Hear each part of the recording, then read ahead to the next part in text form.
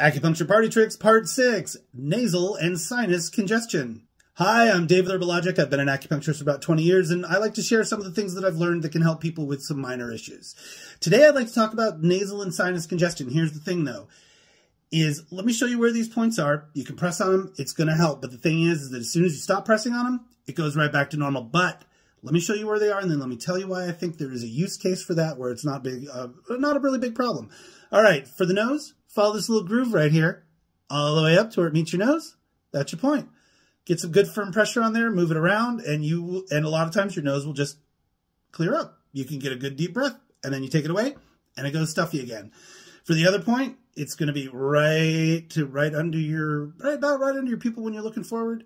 Kind of feel for a divot in there, and then hold some pressure on there, and you should feel your sinuses release, and then unrelease. But here's the thing: is and this is when it has helped me out. When you have some sort of sinus congestion, it just, it's a fullness, right? It's not a big issue until you get on the airplane. And then the airplane starts climbing. And then the pressure in there won't release and it causes a lot of pain. And a lot of times, if you can just get in there and let it release a little bit just to equalize that pressure, it can get rid of that pain almost immediately. All right, if you want more tips like this, hit the plus sign. See you in the next video. Thanks.